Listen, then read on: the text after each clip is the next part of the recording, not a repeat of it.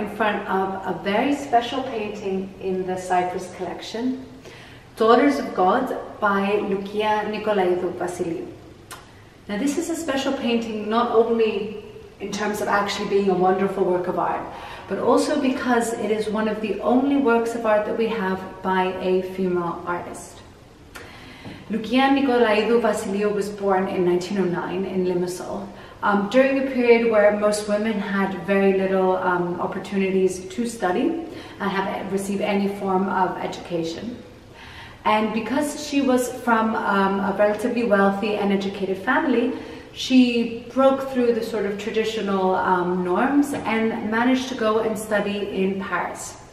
She went to Paris in 1929 and studied at the Académie Colarossi and at the École des Beaux-Arts as well as in the studio of Lucien Simon.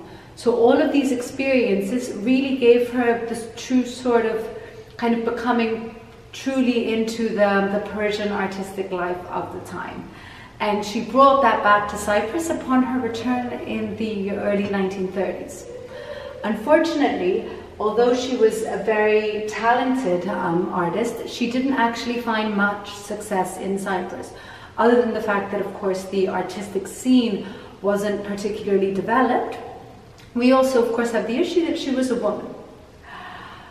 Here we have a really wonderful example of her work, Daughters of God, uh, where we see um, her, the, her seamstress along with one of their close friends. And we can see this sort of close proximity between the two women because during that time, the way that you would purchase clothes would be for a seamstress to come to your house and measure you. And this was something that would happen, of course, on a regular basis. And just by looking at the painting, we can, of course, notice who is who. We see from the different dress between the sort of upper class uh, friend of Loukia and the seamstress and, and the sort of the jewelry and the, the proper hairdo. But really what is particularly striking um, in this painting is the way in which she paints um, these sort of these dark eyes that really penetrate the viewer.